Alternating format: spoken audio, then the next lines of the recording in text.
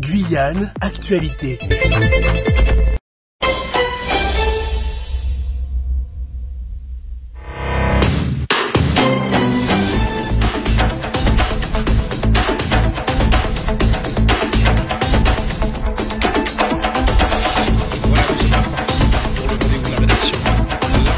Ce lundi 30 mai 2022. Nous commençons par les titres avec Arnaud Berry dans le CRDR. Bonsoir Arnaud. Bonsoir Royan, bonsoir à tous. Dans l'actualité de ce lundi, un immeuble d'habitat informel en feu ce matin à Cayenne. Les conditions d'intervention des sapeurs-pompiers pour évacuer 39 euh, personnes dont une intoxiquée, prise en charge au CHC très difficile. On en parle dès le début de ce journal. Et puis toujours euh, pas de signe de vie de Benaya Mangal plus d'une semaine après sa disparition. C'est évidemment l'angoisse hein, pour ses proches. L'enquête se poursuit. On reviendra sur euh, la disparition d'un grand nom dans le monde du tourisme. Jean-Louis Antoine, le fondateur de Jal Voyage, s'en est allé. Un décès qui a suscité de nombreux témoignages, vous l'entendrez.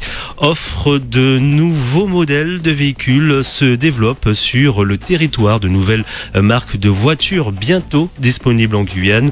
Petite nouveauté dans le marché de l'automobile, on en parle dans un instant. Et puis un tournoi de détection de jeunes footballeurs, la Flexib Football Cup. C'était ce week-end à Sinamari et sous le regard d'une ancienne star du foot français, Djibril Cissé, qui n'oublie pas qu'il a nourri à ses débuts les mêmes rêves que ses adolescents. Et puis, c'est aujourd'hui que démarre la campagne officielle. Mais euh, sur Radio Pays, depuis une semaine, nous vous proposons un programme spécial législative, tour d'horizon de l'actualité politique. On y revient en fin de journal. Voici le 18h de la rédaction de Radio Pays. Bienvenue à tous et à toutes. Titre, un incendie s'est déclaré ce matin dans un immeuble du quartier Village Chinois à Cayenne. Euh, vous l'avez sans doute vu euh, ce matin en direct sur nos réseaux sociaux, cette intervention des pompiers rue Ernest Prévost qui ont mis deux heures avant de maîtriser les flammes et d'évacuer l'immeuble squatté par une quarantaine de personnes. Heureusement, ni mort, ni blessé grave. Seule une femme intoxiquée a fait un malaise durant l'intervention et a été évacuée au centre hospitalier de Cayenne.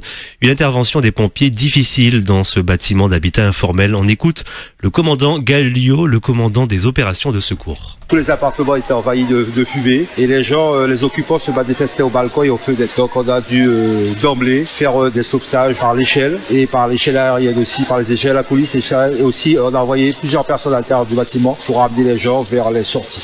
Le nombre de sauvetages, nous sommes à peu près à 35 personnes. Lors du sauvetage, il y a une occupante qui a fait malaise. J'ai pas son bilan bien précis, mais elle a fait malaise, elle a été prise par notre service de santé. Alors quand nous sommes arrivés, effectivement, nous avons un feu à l'entrée de la cage d'escalier.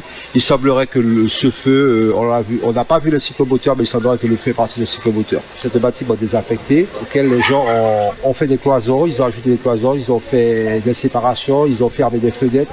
Donc euh, il n'y avait aucune luminosité à l'intérieur, donc le bâtiment était complètement noir et toutes les ouvertures normales étaient barricadées par des portes en fer. Donc notre progression était très difficile effectivement pour le Les propos étaient recueillis par Pedro Polanco et puis euh, du côté de Saint-Laurent du Marronnier. Incendie également d'une habitation euh, qui a eu lieu euh, la nuit dernière au quartier Jacata en milieu de nuit à 1h40. Il s'agit d'un petit feu hein, qui a endommagé 10 mètres carrés d'une maison informelle.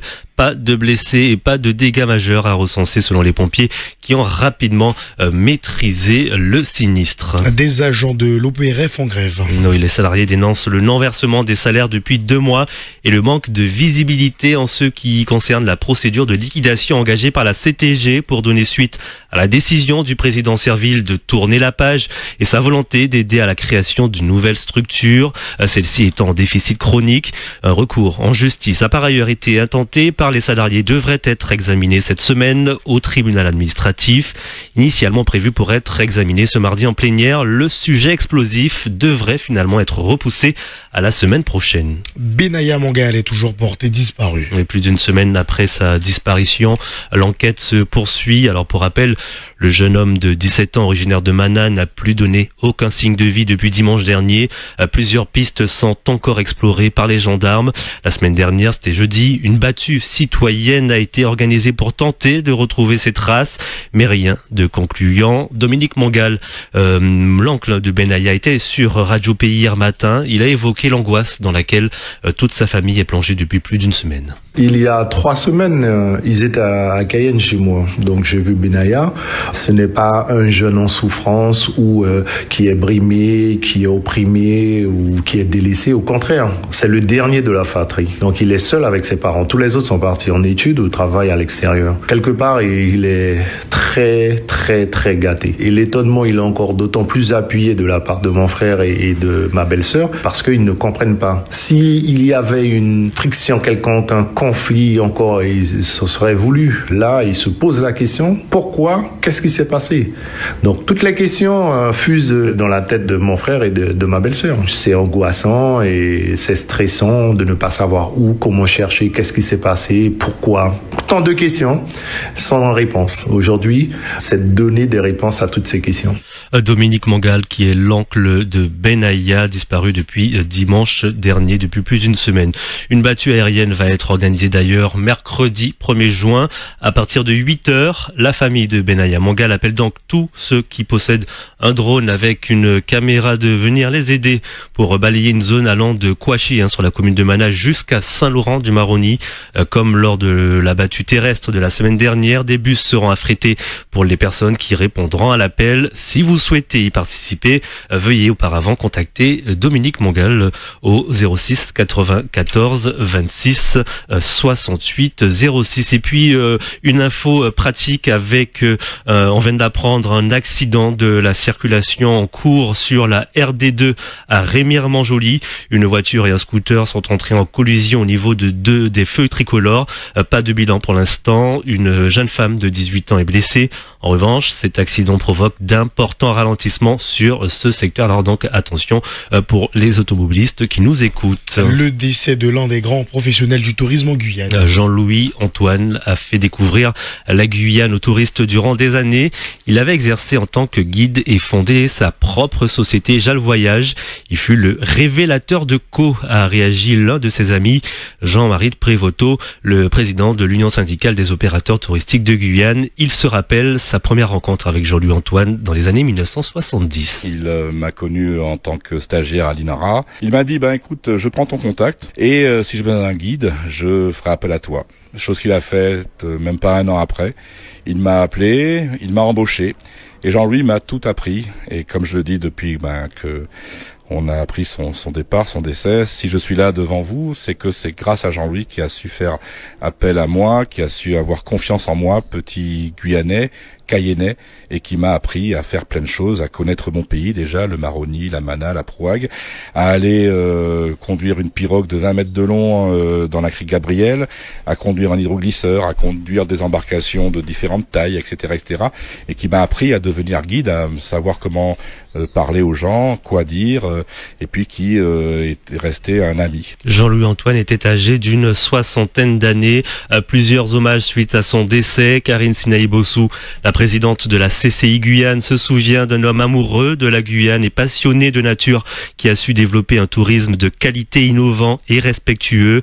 Le maire de Roura, Jean-Claude Labrador, reconnaît son implication dans la vie économique et touristique de la commune avec notamment l'Amazon Lodge Oyak. Et puis enfin, Christiane Taubira se rappelle d'un homme actif imaginatif, attentif au savoir traditionnel, au milieu naturel, tout en étant à l'écoute des changements d'habitude et des possibilités offertes par les technologies nouvelles. Fin de citation. 37 propositions pour lutter contre un fléau qui sévit en Guyane. Celui des suicides en série, en série chez les jeunes Amérindiens. Proposition évoquée euh, lors d'une réunion entre le président de la CTG, plusieurs élus territoriaux et le maire de Camopi mercredi dernier. Les thèmes soulevés englobent le foncier, les offres de formation professionnelle, les besoins d'aménagement ou encore la valorisation des savoir-faire traditionnels. Des nouvelles marques de voitures bientôt distribuées en Guyane. Le groupe Stellantis, troisième groupe automobile mondial, part à l'offensive en Guyane. Euh, de nouvelles marques seront disponibles à l'achat comme Alfa Romeo et Fiat Professionnel, des marques qui seront distribuées via le réseau Somasco qui distribue déjà Peugeot, Citroën ou encore Chrysler. Pour l'occasion, ils vont ouvrir un showroom flambant neuf, tout cela avec une volonté forte de s'implanter encore plus, euh, confirme Frano Chouch-Nigra euh, qui est le directeur général de Stellantis Outre-mer. Effectivement, aujourd'hui, nous tournons une nouvelle page avec euh, la rouverture de euh, marques Fiat, Fiat Professional, Abarth et Alfa Romeo avec euh, notre partenaire euh, Somasco. Donc effectivement, comme vous avez dit, le groupe Stellantis est leader sur les Outre-mer, mais spécifiquement en Guyane aussi. Donc effectivement, ça va rajouter une offre additionnelle que nous avons aujourd'hui euh, sur la Guyane avec les nouveaux modèles, euh, entre autres les voitures électriques que nous disposons sur ces marques-là. L'idée c'est de compléter notre offre que nous avons aujourd'hui sur le marché, de trouver des niches, des clients ou clientes euh, qui se retrouveraient dans les voitures présentes sur les marques dont on, euh, dont on inaugure aujourd'hui avec le groupe Somasco et effectivement apporter peut-être euh, euh, un petit euh, Italian touch sur le marché guyanais. Frano euh, Chouch Nigara, le directeur général de Stellantis Outre-mer, il répondait à Samir Mathieu. Un sénateur se penche sur le régime des cultes en Guyane. Oui, Pierre Ouzoulias, sénateur des Hauts-de-Seine, a adressé une question écrite au ministre de l'Intérieur afin de réformer la particularité guyanaise de la rémunération des prêtres et faire entrer la Guyane dans la loi de 1905. En Guyane, on le rappelle, les prêtres sont censés être ré- rétribués euh, par la, euh, par la collectivité. Dans les faits, euh, seule une dizaine touche un salaire de la CTG. Les autres sont payés par le diocèse. Des jeunes footballeurs en stage en- de détection à Sinamari. Près de 400 footballeurs de 12 à 13 ans ont participé ce samedi à la Flexible Cl- euh, Football Cup, un tournoi qui fête ses- cette année ses deux ans d'existence. Il a été fondé par Romaric Rupert lui-même, ancien footballeur guyanais et créateur de la marque de sport Flexible. Cette édition guyanaise s'est déroulée sous l'œil de l'ancien international français d'Hybrid Cissé. On l'écoute. de parler avec eux, de leur donner des conseils, de, les guider un peu et de, les aider. J'ai commencé euh, deux ans avant, eux, donc euh, je sais, euh, je sais comment c'est difficile, comment il faut être amoureux du sport pour euh, pour faire tant de sacrifices. Ah ouais non c'est pas c'est pas facile du tout. C'est important, c'est euh, voilà laisser partir son fils à 13-14 ans c'est compliqué. Et donc il faut être prêt, il faut que faut que les parents mentalement soient prêts aussi. C'est un moyen d'y arriver. Vous savez dans la dans la, dans la société actuelle, c'est c'est très compliqué. Euh, il faut des études, il faut des diplômes, il faut beaucoup de choses pour pour pouvoir avoir une une situation qui est pas non plus la folie. Et le, le football, voilà, ça permet de ça permet de, de, de faire des voilà des, des belles choses en faisant euh, tout en faisant sa passion. Donc. Djibril Sissi, en- Djibril Cissé, ancien euh, joueur hein, de l'équipe euh, de France de football, il était au micro de José Et Blaisès. dans le reste de l'actualité sportive du foot avec euh, la JOCR, ancien club de Djibril Cissé, qui a dominé Saint-Etienne hier. Le match s'est achevé sur un score de 1 partout. Les Auxerrois ont remporté la rencontre au tir au but.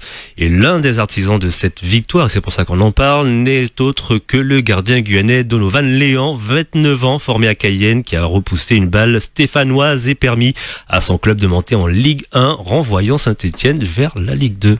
Radio Pays, la suite du journal, Arnaud Béhari Lolsirder. Et on ouvre notre page spéciale législative en ce lundi, marque, euh, et ce lundi marque le premier jour de la campagne officielle. Bah oui, vous le disiez, à partir d'aujourd'hui, de nouvelles règles s'appliquent pour les candidats. Ils peuvent coller leurs affiches sur les panneaux prévus pour cela, euh, distribuer leur profession de foi. Le temps de parole dans les médias est maintenant décompté. Et sur Radio Pays, il y a depuis une semaine hein, de nombreux rendez-vous maintenant, notamment l'interview politique de Samir Mathieu chaque soir Euh, Un candidat est invité à exprimer, à s'exprimer, pardon, dans un lieu qui lui parle, qui est important pour lui. Nos, invités hier étaient Boris Chongsit, Emmanuel Félicin pour la première circonscription. Boris Chongsit a choisi Cacao comme site pour son interview. L'agriculture euh, fait partie de ses priorités d'ailleurs et cela doit passer par l'évolution des normes.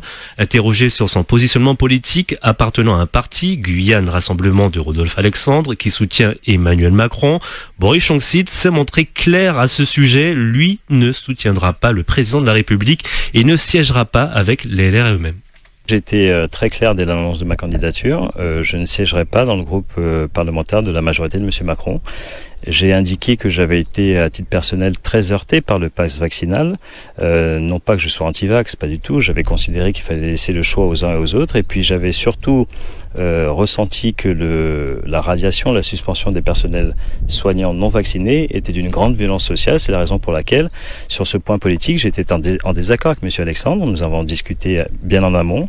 Il a respecté mon choix et ma position. Donc là-dessus, il n'y a pas d'ambiguïté. Je sais que beaucoup de mes opposants mettent en avant le fait que je serais peut-être un sous-marin euh, de la Renaissance ou de M. Macron. Ça n'est absolument pas mon positionnement ni mon choix. Emmanuel Félicin, lui, a choisi la commune de Saint-Georges de l'Oyapock, qui, a, qui doit être, à ses yeux, une vitrine de l'Europe et une porte d'entrée vers la France pour ceux qui arrivent du Brésil. On l'écoute. C'était important pour moi, en tout cas, d'être sur cette ville pour mon interview politique, tout simplement parce que c'est une ville qui, euh, selon moi, représente beaucoup euh, les problématiques que peuvent rencontrer la Guyane. Donc, on est sur une ville multiculturelle, on est sur une ville qui a euh, beaucoup d'opportunités, d'opportunités pour la Guyane. C'est la vitrine, je disais, de la France même de l'Europe.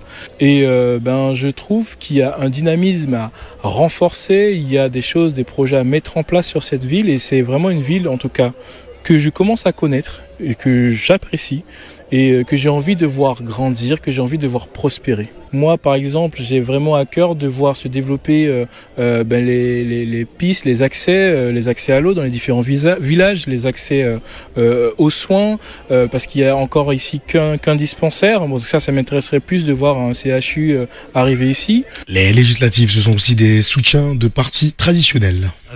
Avec euh, par exemple l'entrée en en la matière des républicains, les LR balayés lors des, présidentielles et qui restent faibles en Guyane depuis plus de 5 ans, se positionnent malgré tout à apporter deux soutiens sur les deux circonscriptions. La première, euh, que vous venez d'entendre. Sur la seconde, le parti de droite soutient Jean-Philippe Delors qui mène une campagne de terrain et compte bien être l'outsider de ce scrutin. De quoi convaincre le parti et son secrétaire territorial Stéphane Augustin. Alors, vous savez, depuis que je suis secrétaire territorial euh, des Républicains, euh, j'ai voulu instaurer quelque chose de très important, à savoir la collégialité et le partage d'idées. Donc, euh, je ne pourrais pas répondre à cette question. Il appartiendra aux Républicains, au groupe, de se réunir à nouveau et de pouvoir discuter pour savoir qu'est-ce que nous ferons, quelle position nous prendrons au niveau du deuxième tour. Il faudrait déjà qu'on sache quels sont les deux, quels seront les candidats au deuxième tour pour que je puisse me prononcer, mais je serai très heureux d'y répondre dès que. Non, non, ça s'anticipe pas parce que moi, je reste persuadé que Jean-Philippe Delors a toutes ses chances. Comme je vous ai dit, c'est quelqu'un de très impliqué. Et puis après, bon, euh, il y a des nouvelles têtes qui, qui émergent et je ne pense pas qu'elles ont les compétences. Je, ne veux, je ne veux rabaisser personne, mais on, on parle vraiment des élections législatives. C'est quelque chose d'important. Un député doit avoir des, des compétences, doit avoir un savoir-faire et surtout une expérience au niveau de la politique. Donc euh, voilà. Ivan Goua, l'unique candidate du 7 Pour entamer notre deuxième semaine consécutive consacrée à ces élections législatives, euh, nous avons reçu ce matin Ivan Goua, candidate sur la première circonscription.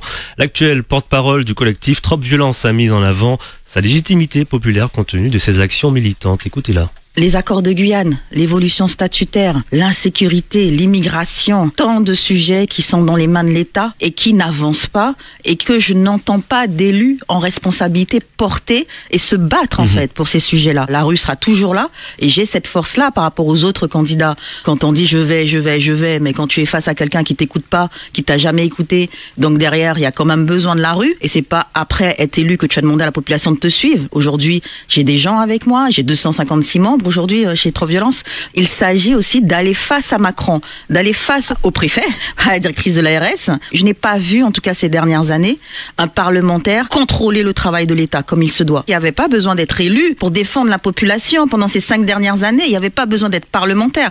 Par contre, pour faire avancer les dossiers, après avoir fait cinq ans de galère, cinq ans de gaz lacrymogène, cinq ans de boutou pour mes grands-mères, quand même, aujourd'hui, bah, il faut qu'on avance. Et sur la deuxième circonscription, Victor Zamit aurait dû recevoir euh, ce matin Virginie Thomas, mais qui n'a pas répondu présente pour euh, euh, des raisons personnelles. Et puis demain matin, nous entendrons Aurore Sagne et Jérôme Arbour pour la première circonscription.